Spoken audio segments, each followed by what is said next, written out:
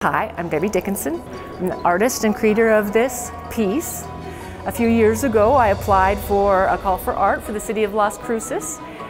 Was lucky enough to be one of the three runners-up to come and create and present a proposal to your art committee. She blew our socks off, frankly. What we were looking for, she produced, and she produced it in a way that really spoke to uh, our sense of our place, our sense of what we wanted to see in the lobby of City Hall.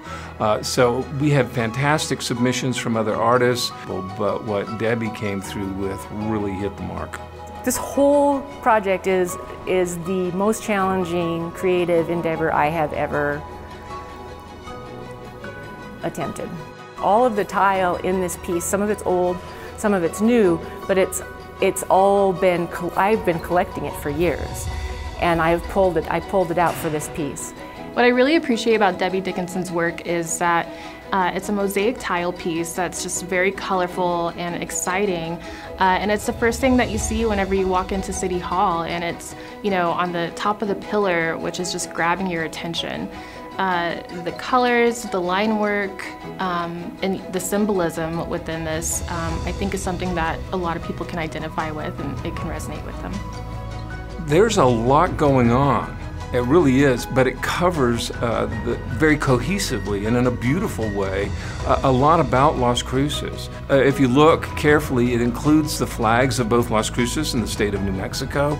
It includes features about our culture and our nature here. Uh, there are just so many elements there. Most people are coming through and walking by fairly quickly, but if you have time, especially if you go up to the second floor and look at it from the balcony, you see so much. Essentially, what I am leaving your community with is one of my children. and um, it's kind of funny, I'm actually feeling a little verklempt or choked up, whatever. Uh, yeah, I just would like to leave your community with my love, my respect, and my hope for all of us for the future. My joy of the present.